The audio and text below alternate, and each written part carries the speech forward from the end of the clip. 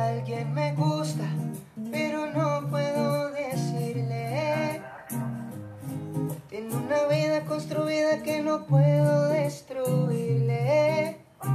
Yo quisiera decirle que ignorarla fue imposible. Y que me duele que sin poder tenerla ya te despedí.